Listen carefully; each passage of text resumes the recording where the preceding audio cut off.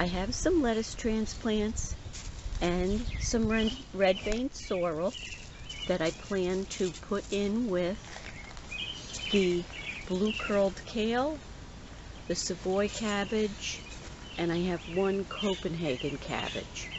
I'm just going to put them in between and the reason why I'm interplanting is to use some of this wide open space while I can.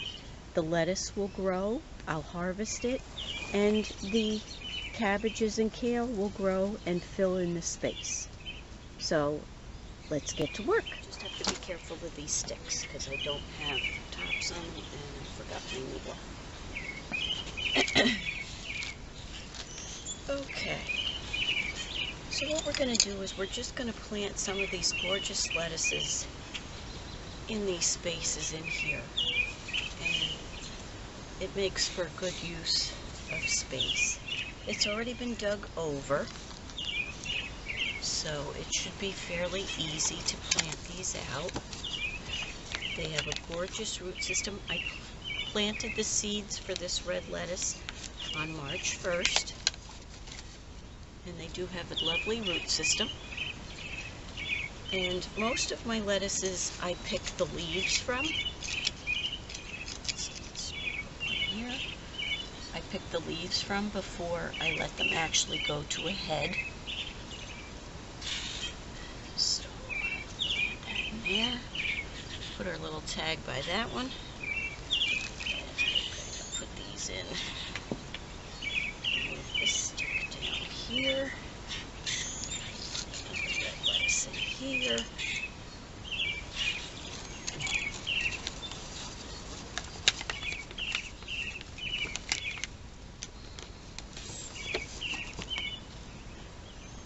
to have a lot of color in my garden. Each color that a, a, vegetable gives you, it has different nutrients. So by varying the colors in your garden, you're getting all kinds of good nutrients from them. Let's see, I have one more.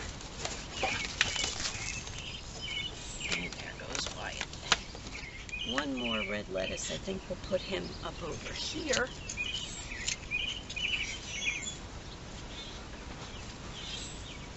And I'll show you the rest when I'm done. Okay, so we've managed to get in some of the red leaf lettuce, some of the Arctic King, and the last one is Little Gem. So that will grow nicely between each one of these plants. I'll be able to harvest those out before the longer term plants. And that's a good use of space. So consider interplanting some of your vegetables in between each other to get your best use of space. We'll be right back and I'm going to show you how I'm going to cover these up because I've already seen cabbage moth and I don't want to take a chance of them damaging too much of the brassicas in the bed.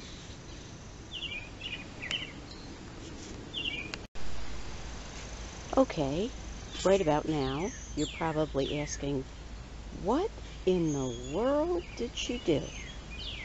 Well, for anyone that knows cabbage moths and cabbage worms, they realize that a lot of their brassica crops will get eaten by the bugs and not by the gardener.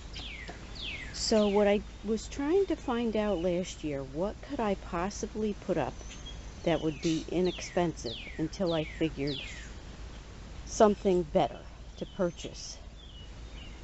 And the idea I came up with was wedding tulle, T-U-L-L-E. You buy it in the fabric store it's relatively cheap by the yard. And I've used these thin skewer sticks. I guess they're maybe about two, three feet tall. Um, they're just wood sticks. And I put the tulle over top and then I put a clothespin around the post. But then also about halfway through where needed, I take a clothespin, grab some more of the fabric, and shove the clothespin into the ground. It looks kind of silly, but it lets the sun through, it lets the water through, but it does not let the cabbage moths through. And it works, and it was inexpensive. So, let's see how it works again this year, and maybe it's something you might want to improve upon or try in your own garden to keep the critters from eating your brassicas.